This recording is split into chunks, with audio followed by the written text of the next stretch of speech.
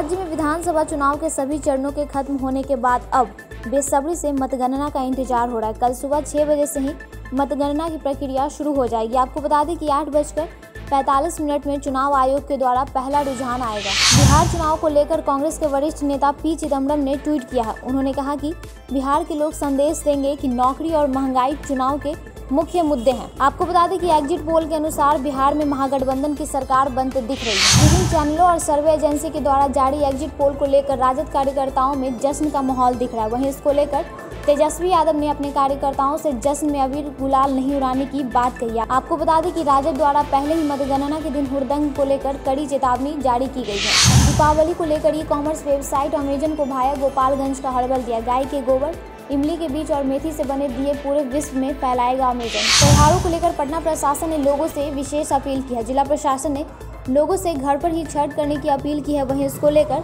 गंगा जल को टैंकर के द्वारा घर घर पहुँचाने की बात कही है। दीपावली और छठ को लेकर भारतीय रेलवे ने बिहार वासियों को सौगात दी है। दरअसल पटना जंक्शन से आधा दर्जन स्पेशल ट्रेन आज से शुरू होगी। पहले भी रेलवे की ओर से कई त्योहार स्पेशल ट्रेन शुरू की गई है।